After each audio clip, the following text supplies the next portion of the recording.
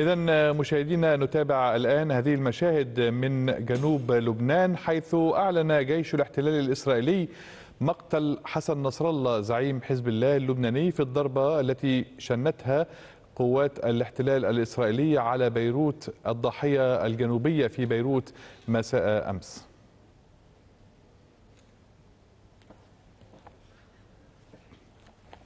طبعا مشاهدينا كانت الأنباء قد تضاربت عقب هذه الضربة التي وجهها جيش الاحتلال الإسرائيلي إلى مقر حزب الله في الضاحية الجنوبية في بيروت.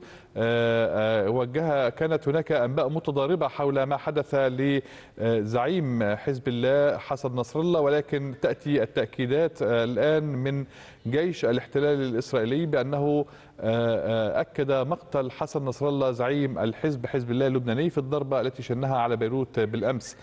جاء ذلك في بيان أصدره المتحدث باسم جيش الاحتلال بعد يوم من الغارة الإسرائيلية على الضاحية الجنوبية لبيروت.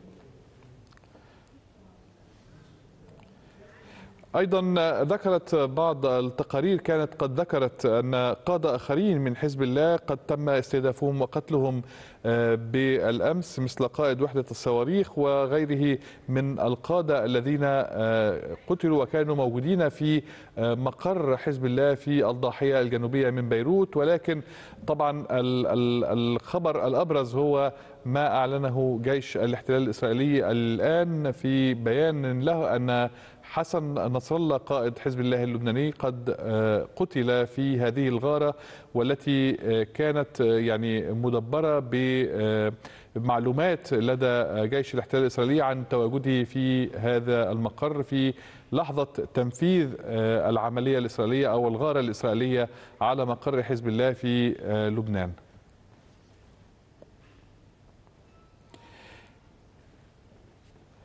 هناك طبعا تساؤلات يعني حول كيف علمت إسرائيل بتواجد حسن نصر الله في هذا المقر وفي هذا التوقيت بالذات. وهناك حديث عن ربما وجود بعض ال ال يعني التسريبات التي كانت تحدث من داخل الحزب الله لعناصر في إسرائيل حول يعني وجود أو تواجد القيادات لانها حدثت عدد من العمليات في الفترة الأخيرة. كان هناك عمليات تمت خاصة بالتفجيرات التي حدثت في اجهزه البيجر ثم التفجيرات التي حدثت لأجهزة اللاسلكي والآن هذه العملية التي استهدفت مقر حزب الله اللبناني في الضاحية الجنوبية لبيروت والتي أسفرت عن مقتل قائد يعني حزب الله السيد حسن نصر الله. وكذلك أيضا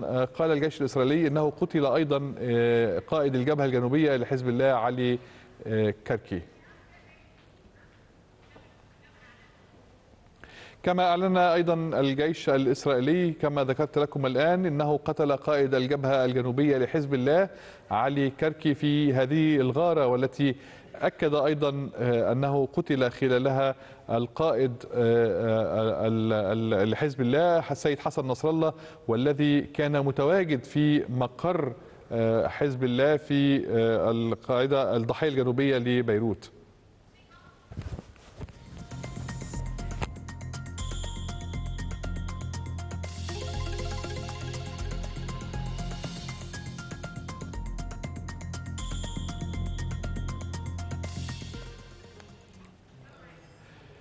إذا ينضم إلينا عبر الهاتف أحمد عز الدين الكاتب والباحث السياسي.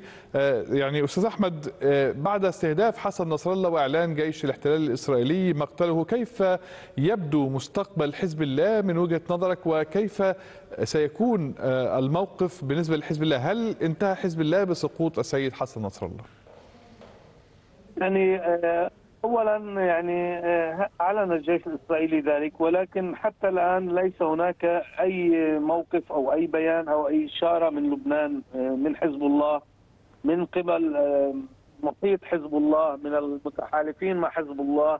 يعني أشار إلى مثل هذا الأمر وبالتالي لكن يعني يثير التساؤلات أو يثير الشكوك أنه منذ الغارة مساء امس لم يصدر أي موقف ولم يعني تصدر أي معلومة وبالتالي هذا الأمر يثير الشكوك. لكن في في مجمل الأحوال يعني أعتقد أن حزب الله لا, لا يرتبط بشخص معين وبالتالي يعني ربما هناك إيران الداعمه لهذا الحزب تستطيع أن تشكل قيادة جديدة وبسرعة. لكن المسألة هي أن لا شك هذا الأمر يؤثر على القوة المعنوية للحزب وعلى الحزب وعلى مساره وبالتالي يعني السؤال هو ماذا بعد يعني؟ هل سيكون هذا الأمر يؤدي إلى مسعى للتسوية يسرع التسوية أم يبعدها؟ أعتقد أن هذه النقطة الجوهرية الآن في في هذا الأمر، هل هل سيؤدي ستؤدي هذه الغارة وهذا العمل العسكري الغير غير الطبيعي والاستثنائي؟ إلى تسريع التسوية أم أن يعني ممكن قد تكون إيران حزب الله وإيران والقوى ومحور المقاومه سيتخذ مواقف أكثر تصعيدية وسينحى منحى أكبر. يعني أعتقد أن الساعات أو الأيام المقبلة ستجيب على هذه الأسئلة من الصعب اليوم الإجابة عليها.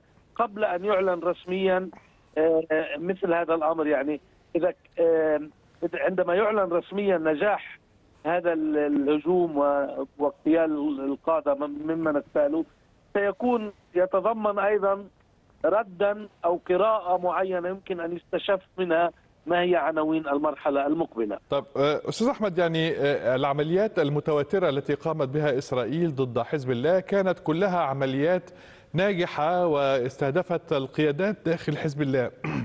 هذه هذا الاستهداف الذي تم وتم في يعني تصفية عدد كبير من القيادات العسكرية داخل الحزب، هل سيؤثر على قوة الحزب إذا كان هناك عملية برية من جانب إسرائيل على شمال لبنان؟ لا شك على جنوب لبنان عفوا. نعم. مش لا مشكله مش لا شك بالطبع أن يعني اغتيال تقريبا الصف القو الأول من القادة الميدانيين والعسكريين والصف الثاني أيضا ومعظم مسؤولي الوحدات القتالية الصواريخ والمدفعية والمسيرات وكلهم تم اغتيالهم. لا يؤثر؟ لأن كلها خبرات وقدرات في إدارة المعارك والمواجهات وبالتالي فقدانها ليس بالطبع من من سيحل محلهم لم لن يكون بمستوى المستوى المستوى ولن يكن لديه القدرة التكتيكية على المواجهة وال يعني الكر والفر ونصب الكمائن وكل ذلك أكيد طبعا سيتأثر في في هذا الأمر. وكان أمس اللافت أنه بعد ساعات من العملية التي استهدف فيها مركز قيادة حزب الله شنت إسرائيل حملة موجات من الغارات المدمرة. هناك دمار رهيب يعني في الضاحية الجنوبية قالت أنها استهداف مخازن. هناك عشرات وربما أكثر من 100 مبنى قد سوي بالأرض وهناك دمار كبير وأضرار كبيرة. وقد نالني من من هذا الأمر بعض الشيء. يعني أنا أنا في الأسف قد تركت منزلي قبل أيام يعني. فبالتالي هناك دمار غير غير عادي يعني في في الضاحيه الجنوبية. أعتقد أن هذه الأسلوب التدميري التي اعتمدته إسرائيل وأيضا في الجنوب أيضا كان هناك تصعيد. ربما تريد من خلاله يعني فرض تسوية بالقوة أو كما كانت تشير إسرائيل دائما تكرر إن لم تتمكن من إعادة سكان الشمال بالدبلوماسية ستعيدهم بالقوة. هل يعني ستخلق منطقة عازلة مدمرة ضغط أيضا على الداخل من خلال تدمير الضاحية الجنوبية من خلال استهداف القيادات؟ يعني كلها أعتقد أنها في مسار المعركة التي هي في يعني كما يكون في عز حماوتها. نعم سيد أحمد يعني إسرائيل تبدو مصرة على عملياتها في جنوب لبنان ويعني هي هي أعلن نتنياهو في الأمم المتحدة عندما عرض خريطة كانت هناك تغيرات في الحدود وفي الأرض. يبدو أن إسرائيل تريد أن تدفع إلى ان تكون لها تواجد حتى نهر الليطاني، هل ستفعل ذلك إسرائيل من وجهة نظرك بعد أن يعني استطاعت القضاء على القادة داخل حزب الله القادة العسكريين بالذات الذين هم لهم كفاءة ولهم خبرة في التعامل مع الجيش الإسرائيلي يعني آه، أعتقد نعم. في جو التدمير والعملية القتل ال- والممنهج وال- وال- والإحراق المناطق ربما تستطيع الدخول ولكن لن تستطيع الصمود يعني. فيما لو حزب الله غاب عن الساحة فايضا آه، هناك قوى سياسية أخرى ستملأ الفراغ وأعتقد يعني أنه قبل أن يتأسس حزب الله وقبل أن تحصر المقاومة بقرار ربما سوري إيراني في عام 1990 بحزب الله ويعني وشل القوى- الباقية، المقاومة كانت موجودة قبل حزب الله. وتستمر فيما لو انتهى حزب الله. ولكن لا أعتقد أن يعني حزب الله سينتهي بهذه البساطة لأن المنظومة منظومة محور المقاومة التي لها ربما أهداف أكثر من مواجهة في جنوب لبنان لد- لديها آه، هدف في المنطقة بشكل عام في في في كل في بلدان المنطقة. وبالتالي لا أعتقد أن ولكن لا شك لا شك أن هذه الضربة العسكرية وهذا ما يحصل في لبنان سيكون له في حسبان لأن لبنان هو الساحة ال- الأساسية التي هي الرافعة لما يسمى محور المقاومة وبالتالي هي هي التي تقوده. وبالتالي إذا كانت هذه القيادة عرجاء فبالتالي بالتالي طبعا الأمور ستتأثر كثيرا. ولكن يعني من الواضح أننا آه، دخلنا في مرحلة جديدة بعد هذه ال- الهجمة الإسرائيلية العنيفة. منذ التي بدأت يوم الاثنين الماضي. نحن في امام تطور جديد. هذا التطور طبعا يصعب قراءته لأنه آه، آه، لا شك إلى جانب العمل الميداني العسكري ال- ال- على الأرض هناك اتصالات وتسويات ورسم خرائط ربما ورسم سياسات في ال في ال في ال يعني في في الغرف الخلفية للساحة. وبالتالي هي هي التي ستحدد كيف سيكون مسار الأمور آه، في ال- الأسابيع والأشهر المقبلة وربما حول مستقبل المنطقة. أستاذ أحمد يعني آه، هذا ال ال يعني التحديد الدقيق لأماكن القادة العسكري العسكريين في حزب الله هل هو نتيجة يعني آه، آه، معلومات تأتي من داخل حزب الله نفسه ووجود آه، ربما تسريبات من داخل الحزب هناك خيانات ربما بين بعض الموجودين ويعملون داخل الحزب. أم أن كما يقول بعض المحللين الذين كتبوا بعض أفكار أن ربما إيران تخلت عن الحزب نتيجة آه، الوصول إلى صفقة مع إسرائيل. أنا أعتقد أن آه، ربما يعني هناك وجهين للسؤال. المسيح دعني آه، أتحدث عن الوجه الأول هو موضوع ال- ال- التجسس والبراء نعم. لا شك ان إسرائيل بعدما تلقت ضربة في العام 2006 وكان عجزها كبيرا بدأت منذ يومها يعني تتحرك على محورين. طائراتها لم تفارق الأجواء وأيضا نشطت على موضوع التجسس و وقد آه، يعني الأجهزة الأمنية اللبنانية آه، فككت عشرات المرات بخلايا استخباراتية إسرائيلية. وكما هو معروف يعني لا لا حرب بدون استخبارات. منذ منذ قيام البشرية يعني كانوا يسمونهم العيون والعسس و و و وهي اليوم موجودة يعني. لا يمكن لأي دولة أن تتحرك عسكريا إذا لم تكن لديها أجهزة استخبارات ولديها مخبرين يكشفونها نعم. وفي نفس الوقت يعني تستفيد إسرائيل من التطور التكنولوجي الذي آه، لديها. يعني وبالتالي هذا هو الأمر.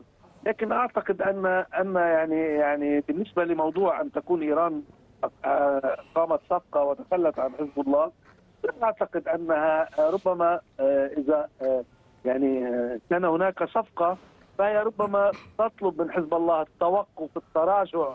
وحزب الله أعتقد أنه لا يخالف إيران في أي أمر ولكنها لن تلقي لأن إذا تخلت عن حزب الله ماذا لو آه، هذه التسوية التي أقامتها مع إسرائيل سقطت بعد سنة أو سنتين؟ ماذا سيحصل؟ نعم. لا أعتقد أنها ستلقي آه، تلقي سلاحها. لا أحد يعني لديه معركة يلقي سلاحه. بالتالي ربما تطلب من حزب الله كما يعني كان هناك كلام و, و يعني تململ في الساحة اللبنانية منذ منذ آه، حرب الإسناد في لبنان يقال أن إيران طلبت من حزب الله الدخول في الأستاد ولكن طلبت منه أن لا يصعد وأن يكتفي بهذه العمليات المحدودة على الحدود وبالتالي كان الحزب الله يتعرض لضربات ويعني ولا يرد بالشكل الكافي وكان بالتالي هذا يعني مبعث نعم. سياق في في صفوف وبيئة حزب الله لأنه طلب منه الدخول في المعركة ويمنع عليه القتال بشكل جيد نعم. وبالتالي أعتقد أن هذه الأمور تكون بهذا الشكل يعني. طب أستاذ أحمد يعني ابقى معي قال مصدر مقرب من حزب الله إن الاتصال فقد بحسن نصر الله منذ مساء مساء الجمعة لكنه لم يؤكد بعد مقتله وبالتالي الأنباء تأتي من إسرائيل ومن الجيش الإسرائيلي تقول إنه قتل حسن نصر الله في الغارة مساء أمس والآن يقول حزب الله إنه فقد الاتصال مع قائده حسن نصر الله منذ مساء الجمعة لكنه لم يؤكد مقتله بعد. طبعا هي دائما ربما كان هناك إشارات ربما كان هناك إشارات من منذ الأمس سواء من تحديدا من إيران. كان هناك يعني صمت مطبق من حزب الله. كان هناك إشارات من إيران يعني بالتدرج تشير إلى أن شيئا ما قد حصل. وطبعا عندما تتحدث أنت بعد أكثر من 12 ساعة أو 18 ساعة عن أن الاتصال مفقود فهذا يعني ربما يكون ممهد لبيان آخر لموقف لإعلان آخر سيأتي فيما بعد ولكن بالتالي يعني أصبح الكثيرون في جو أن شيئا ما قد حصل في هذا المجال يعني. طيب إذا إذا قتل حسن نصر الله سيد أحمد هل يعني حزب الله لديه من يخلفه في قيادة الحزب أم أن يعني خاصة وأن أغلب القادة الذين يعني معروف الذين يعرفون أو معرفين أو معرفين في الحزب قتلوا أغلبهم على يد الاحتلال الإسرائيلي وبالتالي لا يوجد اسم بارز يمكن أن يتولى قيادة الحزب في هذا التوقيت. أنا أعتقد أن يعني حزب الله هو حزب منظم سياسيا جدا ومنظم امنيا ولديه منظومة أمنية كبيرة وداخل يعني أطراف الحزب وأجنحته وخلاياه. وبالتالي يعني لن تؤثر على الحزب. لكن قياده نصر الله يعني الذي منذ العام 92 يعني من منذ 32 سنة يقود الحزب. وكان له صولات وجولات. ويعني أخذ يعني يعني صورة كبيرة عام 2000 عند التحرير وأصبح له رمزية في العالم العربي وإن كانت تراجعت نتيجة ظروف معينة في العام 2050 خمسة بعد اغتيال الحريري. ولكن ثم عادت هذه الرمزية ويعني في بعد عدوان 2006 وكبرت. يعني حزب الله نصر الله له هاله كبيرة نتيجة هذا المراحل الزمنية الطويلة وبالتالي من يخلفه لن يكون له هذه الصورة إنما ربما الحزب يكون منضبط ومتماسك ومن يخلفه هل سيستطيع ان أن يحدث هذه الحالة؟ يعني يعني يعني في كثيرا من بيئة حزب الله. نعم.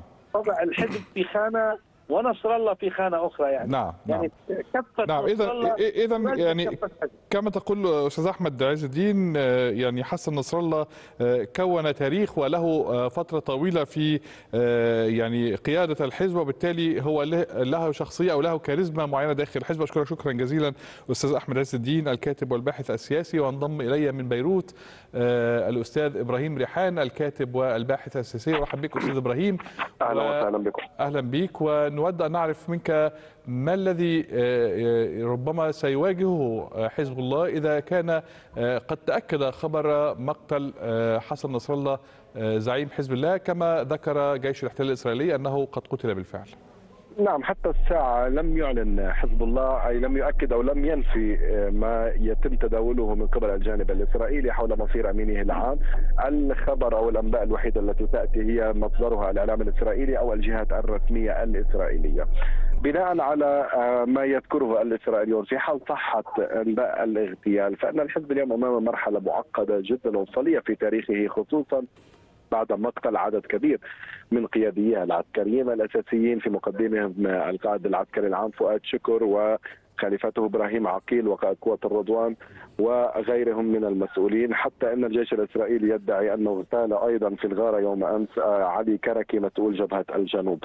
ما يعني اليوم أن الحزب أمام مشكلة حقيقية على مستوى القيادة وعلى مستوى الهيكلية. وهذا يطرح علامات سؤال حول الطريقة حول الطريقة التي سيدير بها الحزب المرحلة المقبلة ومن سيكون مسؤولا في حزب الله عن إدارة هذه المرحلة خصوصا أن الضربه كما كنا نقول يعني هناك الجيش الاسرائيلي يقول إن هناك كان أكثر من شخص مع حسن نصر الله في هذه الغارة وعلينا أن نتأكد إن كان الموجودون هم من مجلس الشورى والمكتب السياسي والقيادات العسكرية، يعني هناك حالة من الإرباك الواضحة في في لبنان تجاه المشهد القاتم الذي يحدث اليوم وليس هناك يعني من مؤشرات تؤكد أو تنفي أقله من الجهة اللبنانية مصير أمين عام حزب الله. نعم. أستاذ إبراهيم يعني مقتل القيادات الرئيسية في الحزب علي كرك وفؤاد شكر وإبراهيم عقيل كيف ربما يؤثر إذا قامت إسرائيل بعملية اجتياح بري الآن وخاصة أنها أيضا زعيم الحزب حسن نصر الله أيضا قد يكون قتل كما أعلن جيش الاحتلال الإسرائيلي وكذلك حزب الله يؤكد أنه فقد الاتصال به.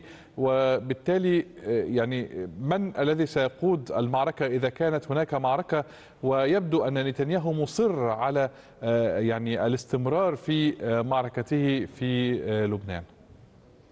نعم هلا من حيث المجموعات العسكرية فتقول بعض المراكز أن حزب الله يعتمد في هكذا حالة على المجموعات المنفردة المرتبطة بقيادات محلية ومناطقية في جنوب لبنان من دون العودة إلى القيادة المركزية، لكن هذا في وقت عينه يسبب أزمة في حال مثلا تم التوصل إلى اتفاق سياسي من سيتواصل مع المسؤولين في تلك الجبهات لوقف إطلاق النار متى نتحدث. يعني هناك اليوم لا لا يقين في المشهد اللبناني في هذه الحالة. هناك بعض الآراء التي تدعو رئيس مجلس الوزراء نجيب ميقاتي إلى إرسال الجيش اللبناني إلى الجنوب فورا. لمحاولة درء ومنع العدوان واستمرار العدوان الإسرائيلي على لبنان الذي لم يوفر منطقة تقريبا من الجنوب إلى أقصى الشمال. يعني هناك حالة باتت من من الضياع والإرباك عند اللبنانيين كان على الصعيد الرسمي أو حتى عند حزب الله الذي لم يعلن حتى اللحظة كما كنا نقول عن مصير أمينه العام. طب في ظل هذا التصعيد يعني كيف ترى الدور الدولي يعني خاصة دور الولايات المتحدة الأمريكية وفرنسا التي بالتأكيد لها دور كبير في لبنان هل يستطيعون تهدئة الوضع وهل هناك فرصة لنجاح الجهود الدبلوماسية بعد كل هذه الهجمات من جانب إسرائيل على لبنان وعلى حزب الله؟ نعم أعتقد أن النافذة الدبلوماسية أصبحت أكثر ضيقا من ناحية المصداقية لأن نتنياهو حين أعطى الأمر بغارة الضاحية التي قال أنها استهدفت أمين عام حزب الله حين كان في نيويورك وادعى أنه ذاهب للتفاوض حول الجبهه مع لبنان عبر الوساطة الفرنسية والأمريكية. هناك من يعتقد أن هناك ان نتنياهو أصاب لم يصب الضاحية فقط بل أصاب مصداقيه الوسطاء الأمريكيين والفرنسيين في هذا الإطار. وهناك محاولة غدا سيقوم بها وزير الخارجية الفرنسي الذي سيصل إلى العاصمة بيروت صباح غد الأحد.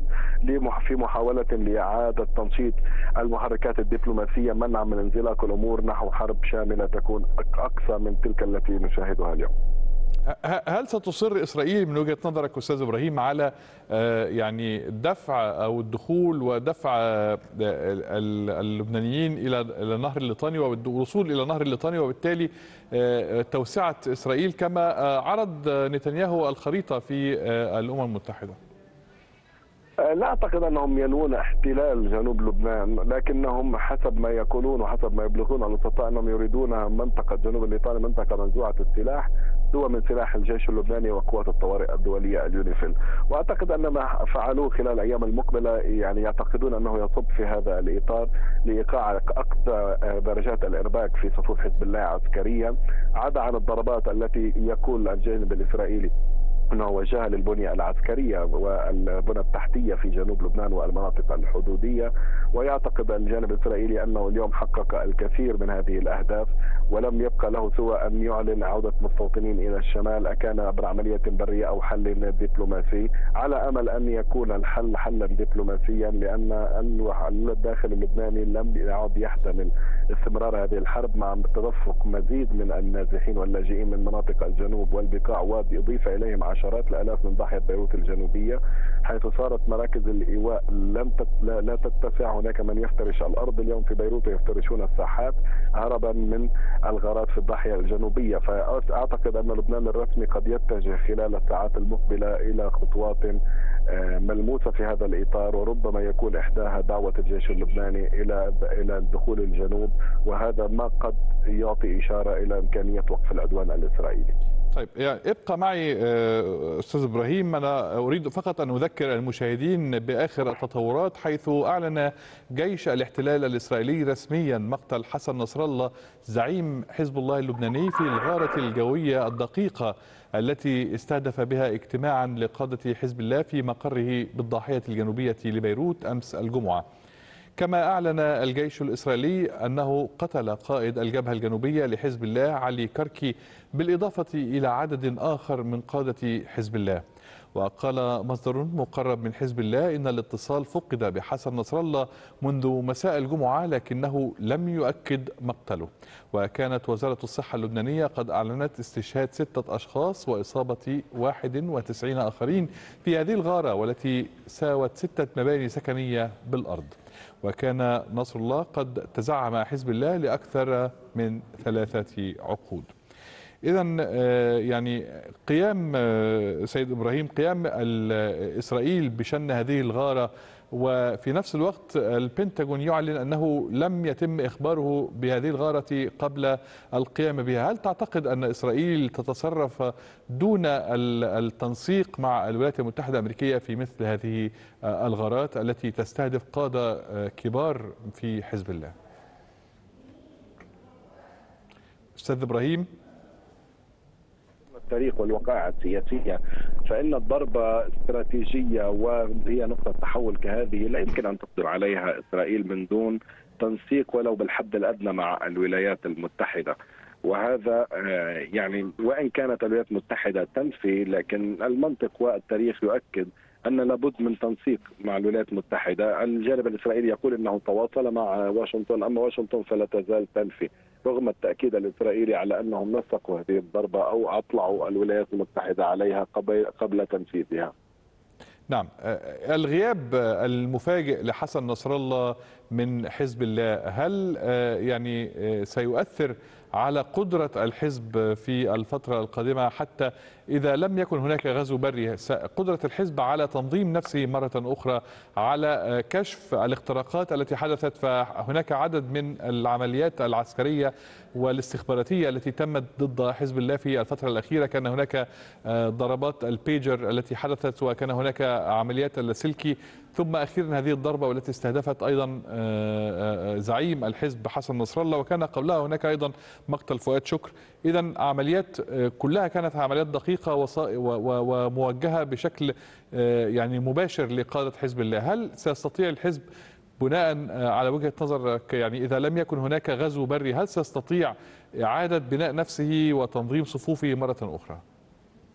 نعم اولا من حيث الشخصية حسن نصر الله يعتبر من حيث الشخصية القيادية لدى حزب الله شخصية استثنائية فهو لا يشبه الذين سبق اللذان سبقوه مثل عباس الموسوي أو فتحي الصيلي بل يعد شخصية استثنائية في قيادة الحزب. حتى له نفوذ في منطقة في المحور ككل وله كلمة مسموعة في إيران. يعني ليس من السهل العثور على شخصية تملأ الفراغ الذي قد يتركه الذي يترك الذي قد يتركه غياب نصر الله في حال تأكد اغتياله وهذا الأمر طبيعة الحال سينعكس على إعادة ترتيب صفوف حزب الله لأن هناك تبين ان هناك خروقات أمنية وعسكرية واسعة على مستوى حزب الله وليس على مستوى خفيف بل على مستوى عالي وعلى مستوى القيادة.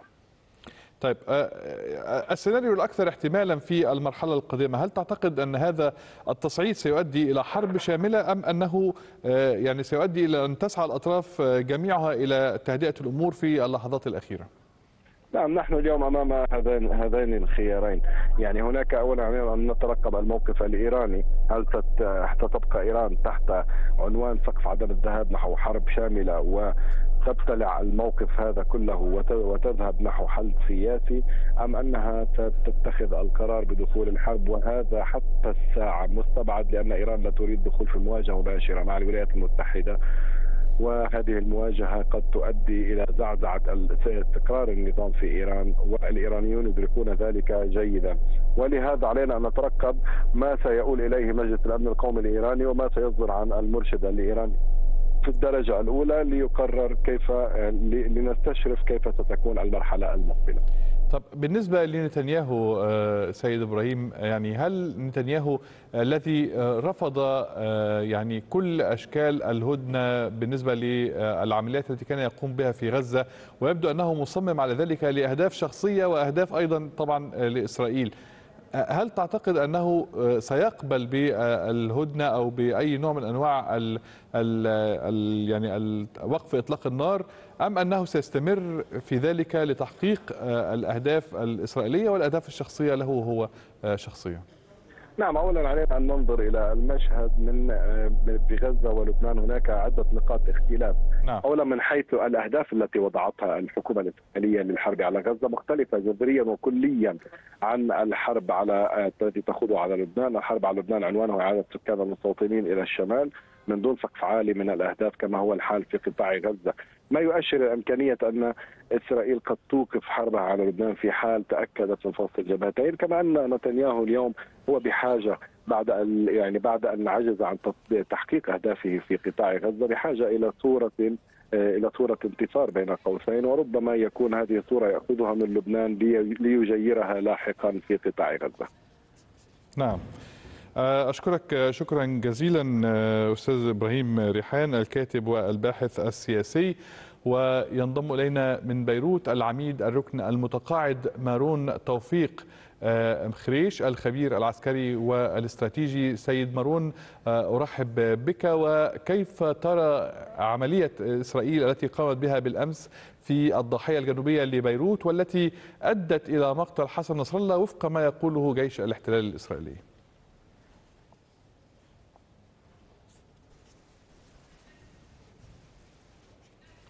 سيد مارون هل تسمعني؟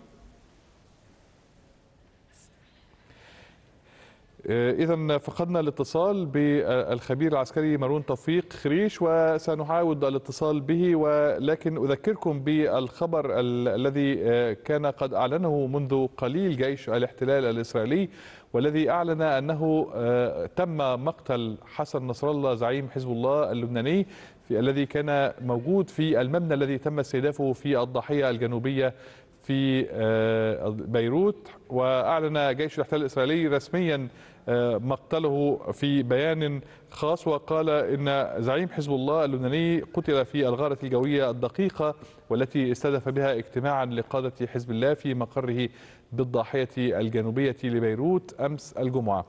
كما أعلن الجيش الإسرائيلي أنه قتل قائد الجبهة الجنوبية لحزب الله علي كركي بالإضافة إلى عدد آخر من قادة حزب الله. وقال مصدر مقرب من حزب الله إن الاتصال فقد بحسن نصر الله وذلك منذ مساء الجمعة لكنه لم يؤكد مقتله بعد. وكانت وزارة الصحة اللبنانية قد أعلنت استشهاد ستة أشخاص وإصابة 91 آخرين في هذه الغارة والتي أدت إلى تسوية ستة مباني سكنية بالأرض. ويعد نصر الله هو الزعيم التاريخي لحزب الله حيث قد تزعم الحزب لأكثر من ثلاثة عقود.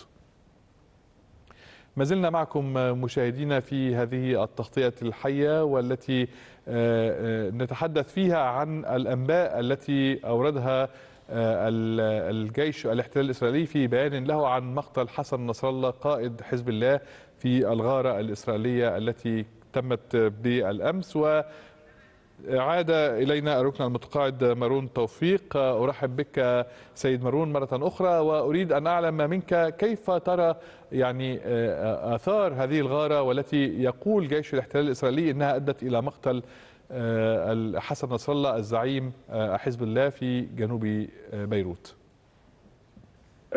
هيدا عمل إجرامي كبير غير مسبوق في التاريخ ويشبه مقتل فرديناند ولي عهد النمسا قبل الحرب العالمية الأولى. إلا إذا كانت القوى الإقليمية والدولية قد تخلت عن لبنان وتخلت عن حزب الله. أعني أعني إيران تخلت عن عن حزب الله. أرى أن أن هناك صعوبة أصبح هناك صعوبة بإجراء اتصالات أو مباحثات لوقف إطلاق النار أو وقف العمليات العسكرية بين لبنان وإسرائيل. هذا العمل الإجرامي يثبت أن إسرائيل ليس هدفها إعادة إعادة النازحين إلى الشمال إلى شمال إسرائيل إنما القضاء على كل صوت معارض لهذا الجسم الكيان الغاصب المزروع في جسد الأمة العربية في المنطقة وفي العالم حتى في العالم. كيف الآن ستكون المباحثات بين إسرائيل ولبنان؟ والأمم المتحدة وكيف ستتعامل الدول الآن مع إسرائيل بعد هذا العمل الإجرامي الكبير؟ إنه قتل لكل أمل بالسلام في الشرق الأوسط.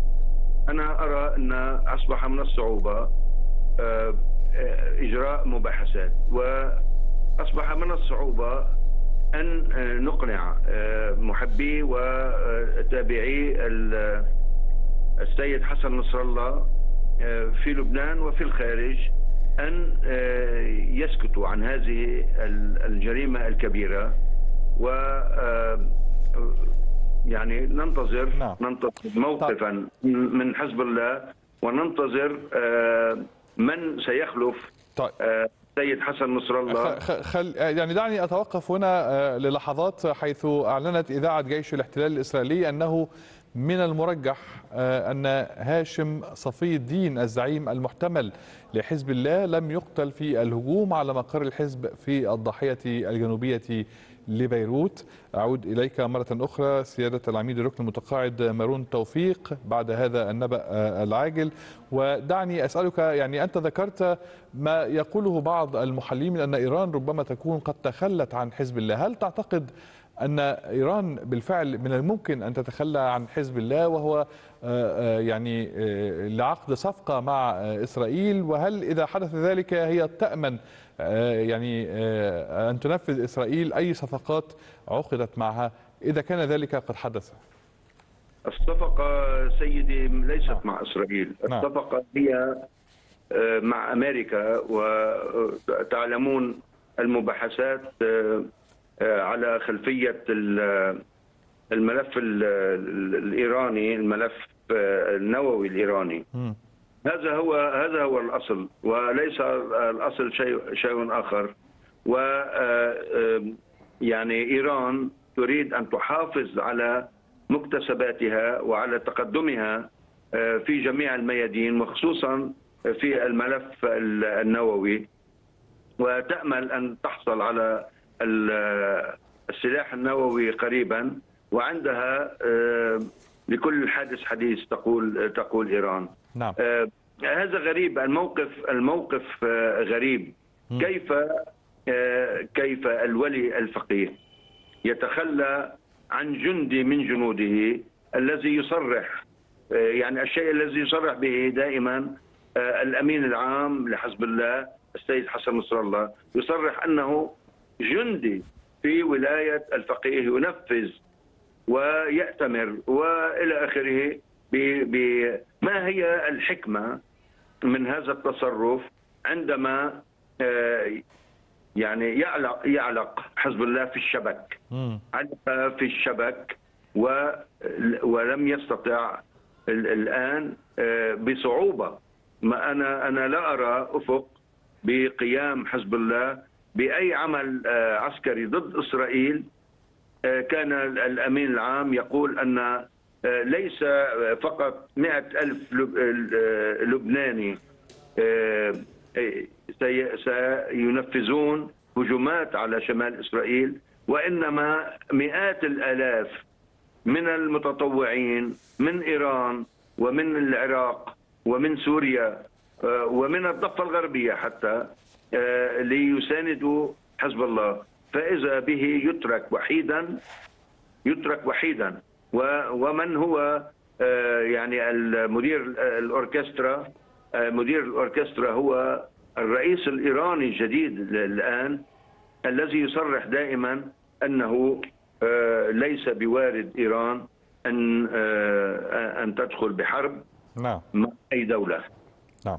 أه بشكرك شكرا جزيلا. كنت معي من بيروت العميد الركن المتقاعد مارون توفيق خريش الخبير العسكري كنت معنا من بيروت قال مصدر مقرب من حزب الله اللبناني إنه قد فقد الاتصال بحسن نصر الله الأمين العام للحزب منذ مساء أمس لكنه لم يؤكد مقتله ويأتي ذلك بينما قال جيش الاحتلال الإسرائيلي إن حسن نصر الله قتل في الغارة التي استهدفت مقر قيادة حزب الله في ضاحية بيروت الجنوبية.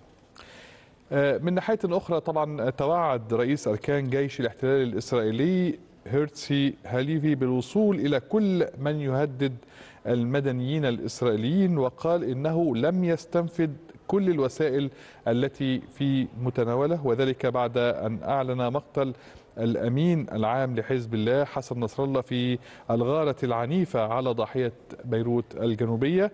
ورئيس اذا الأركان رئيس اركان جيش الاحتلال الإسرائيلي يتوعد بالوصول إلى كل من يهدد إسرائيل بعد إعلان إسرائيل مقتل زعيم حزب الله.